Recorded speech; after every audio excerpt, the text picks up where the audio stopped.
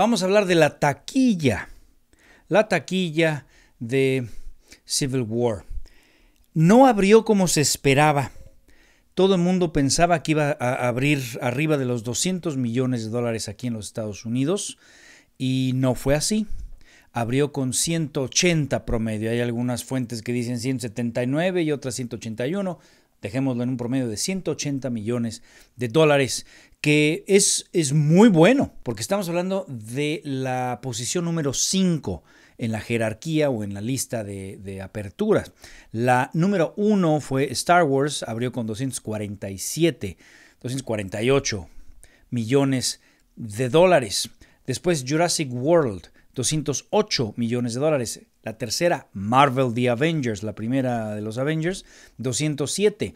Avengers, la era, de Ultron, la era de Ultron, oye, fue como una semana, pero pues le dicen la era, ¿no? Pero bueno, la semana de Ultron, ¿verdad? Está en cuarto lugar con una apertura de 191 millones de dólares. Y finalmente, el Capitán América Civil War con 180 millones de dólares.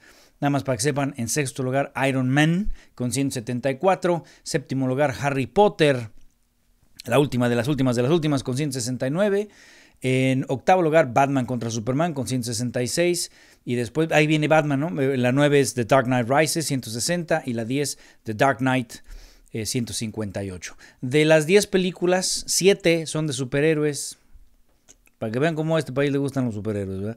Pero el punto es que abrir en el quinto lugar con 180 millones de dólares eh, está lejos de decir, oh, qué fracaso, es extraordinario, es, es, fantástico, pero no abrió como se esperaba. La película en el mundo ya, ya casi llega a los 700 millones. O sea, es una locura. Va, va extraordinaria la película porque en el mundo ya van dos semanas y, creo que además la boca en boca es muy buena. A todo el mundo le gustó, que tiene 91% en Rotten Tomatoes.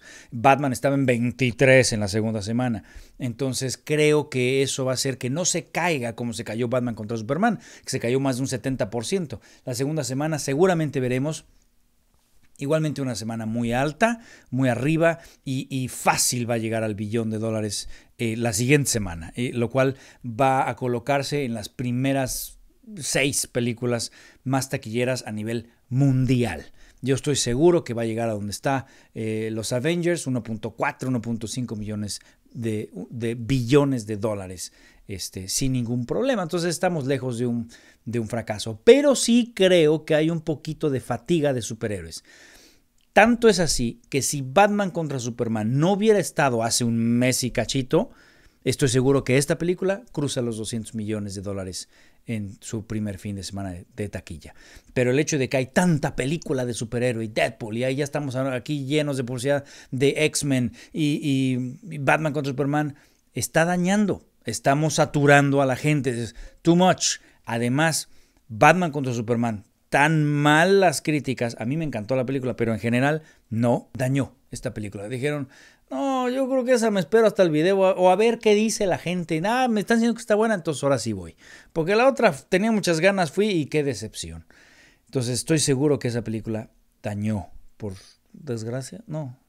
Disney está muy contento porque Disney acaba de romper el récord de llegar al billón de dólares con sus películas más rápido que cualquier otro estudio, ¿no? Porque pues tiene The Jungle Book, tiene este eh, Star Wars, eh, viene la de Marvel, o sea, tiene todo, Zootopia, etcétera. Entonces en menos de cinco meses ya llegó al billón de dólares nada más en los Estados Unidos. Obviamente si suman todo el mundo pues ya ya ya había llegado, pero en fin. Entonces creo que, que lejos de un fracaso es una extraordinaria, extraordinaria fin de semana de apertura. Creo que se lo merece, es una, está muy divertida, está muy bien, pero sí también refleja ya la fatiga que empezamos a tener de tanto pinche superhéroe.